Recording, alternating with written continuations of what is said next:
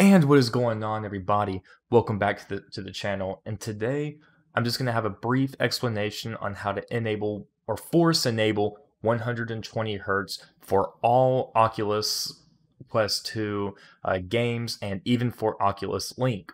As you guys know, Oculus Update V28 just came out, which enabled 120 hertz and a lot of cool features for the Quest 2. And I'll show you guys how to force enable 120 hertz uh, through SideQuests using AB, ABD commands and just confirming that it does work in Oculus Link games. So the first thing you're going to want to do is open up SideQuest. If you don't have SideQuest, this video is not how to uh, how to um, install or use it, but just these specific commands. So you're going to want to put these in order with your Quest 2 on and make sure you have the 120 hertz option enabled in experimental features or else it won't work. So you're just going to run through, make sure your Quest 2 is connected and run all three of these commands in order.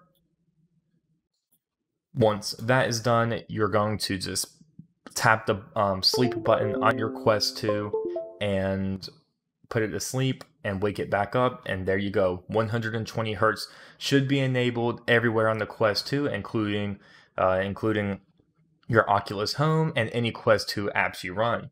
Now it just depends on how graphically intense the game is in order to hit 120 hertz on the standalone headset but this also works for oculus link and if you go um, into your Quest 2 and look at the settings, it still shows 90 hertz, but it actually is running at 120 hertz.